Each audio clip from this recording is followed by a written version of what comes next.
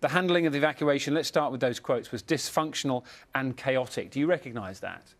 So it's certainly a huge operational challenge given the pressures on the ground, but I would just point to the fact that within just a two week period, 15,000 people were evacuated. That's the biggest operation of its kind in living memory.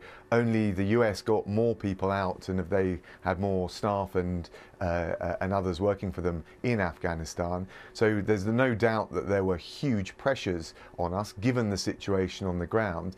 But I think that the team, the uh, military team, the MOD team, uh, uh, the Foreign Office, thousand people working on it uh, from the Foreign Office and the Home Office teams, the Border Force, as well as the nationality uh, uh, officers, actually, if you look at the results, they did an incredible job under, frankly, the most difficult conditions.